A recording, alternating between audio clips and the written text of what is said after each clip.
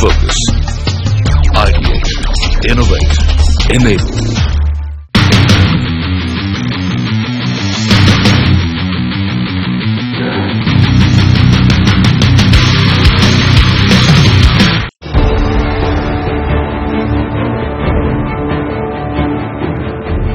The defining moment is here.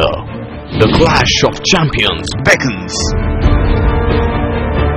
After a remarkable national final, Tata Crucible Campus Quiz 2017 has reached its final stage.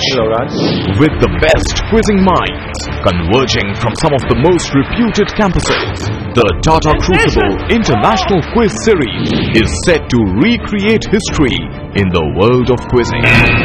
Five, London School of Economics. Six teams from India, Dubai, and Singapore will face off against each other at the international final. Which team will crumble under pressure and which team will hold their nerve? Who will emerge as the ultimate champion? Ladies and gentlemen, welcome to Tata Crucible, the Campus Quiz International Final 2017. Hello and a warm welcome to each and every one of you. You're with me, Pickbrain, here today on CNBC TV 18, and you're watching the international final of Tata Crucible for Campuses 2017. What started as an initiative in India 13 years ago has today celebrated a decade in Singapore, and we completed the 10th consecutive edition in that country this year. And as we celebrated 10 years in Singapore, we start Crucible's journey at another region in the Middle East with the first ever edition of a Tata Crucible at Dubai. The success there is only encouraging and indicative that it is perhaps going to go the distance like Singapore has. But for the moment, with us here today are the top two teams from each of these countries vying for the honors in the international final. Well, true to an international final, there are, of course, the wonderful trophies for them to win.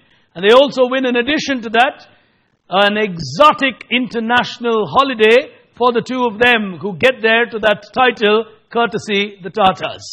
Well, the prizes are huge, the era is different, but then the battleground is also very different in this modern world.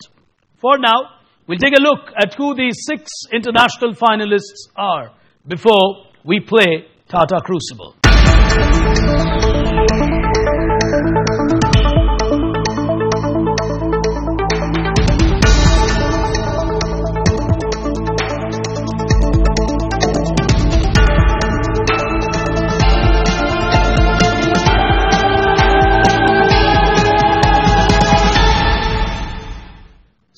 And gentlemen, those then are six finalists here today on stage. Two teams from Dubai, two teams from Singapore, and of course, two teams from two wonderful cities of India, Pune and Jamshedpur. In the international final, over 7,000 teams have taken part just this year, and these are the six international finalists. Can we have a round of applause? Time for us to pick action on the first frontier of the international final. Six teams, one will stand tall as the international champion at the end of it all. For the moment, time to play the League of Legends. Here it comes. Well, like all of you have been following over the last many weeks on CNBC, we've got a new Bitcoin in this world called Crubits. That's the crucible currency that we have. The value, of course, is 50 in the first frontier. Two attempts on the buzzer. Whoever gets it right gets a 50. You get it wrong, you get a minus 50. Two attempts, which is for two different teams. So if you get it wrong, you can't make the second attempt on the same question. It's for the remaining five teams to attempt. So if we are good to go with the international final, time for us to get started with the first one coming up on your screens now, the term was popularized by Benjamin Graham and his followers all on the buzzer. All on the buzzer. Two attempts on the buzzer, And the followers, most notably, include Warren Buffett. It's a principle of investing where an investor only purchases securities when the market is significantly below its intrinsic value. What three word term is this? NIT from Jamshedpur, the India champions of the block. The intelligent investor. The, The in- intelligent investor. the intelligent investor is a good description of Warren Buffett, but a minus 52. It's a term that is used. Armed Forces Medical College. Dubai were also on the buzzer, but a little late. Yes. This is value investing. This is Value investing. Value of investing is another minus 50.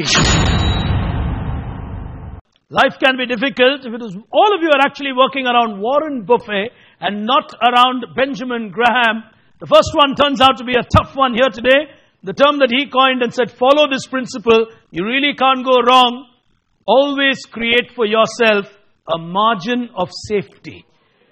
That is how the world operates. Here's the next one. Two negatives. The two Indian teams onto a negative. We'll see what the international teams do. Here's the next one on your screens now. An aircraft company has diversified and got into creating these ski doos. They're famously called ski bombs. NIT Jamshedpur are playing aggressive. Bombardier. Bombardier. Ski bombs from Bombardier. Plus 50. Oh, clever quizzing. As we go to the next one. Hands on that buzzer. Here it comes. Harvey Kennedy popularized something called the aglet. In Rome, it was made of gold and silver. Saddam Hussein supposedly had one with diamonds. What is the aglet? Armed Forces Medical College. So this is the end of the shoelace. End of the shoelace is known as an aglet, the plastic end. There's a small little plastic that holds a shoelace at the tip of a shoelace. Well, ladies and gentlemen, gold, silver, diamonds, the tip of a shoelace is a multi billion product. That's the world you live in today. Well, every shoe requires four of them. Multiply that with mankind on earth. Put your hands together. Wonderful 50. An aglet is a product that holds the tip of a shoelace and prevents your shoelace from getting really into bad shape. Here's the next one. Hands on that buzzer. Question coming up now. These are places to stay at Netherlands because they've got no use to this anymore. What were these that Netherlands is now renting out? Dubai on my right have gone for it. SP Jain. Is it uh, is that these old prison cells, uh, prison complexes? Old prison complexes are today being given out as rent for people to come and stay, Yes, rooms. Their experimental project that's going on. Crime rates are falling in Netherlands. They don't know what to do with their prisons. You can rent them and stay in them. Wonderful! 50 to Dubai. Here's the next one. Hands on that buzzer. Overall answer is what matters. Careful. Here we go.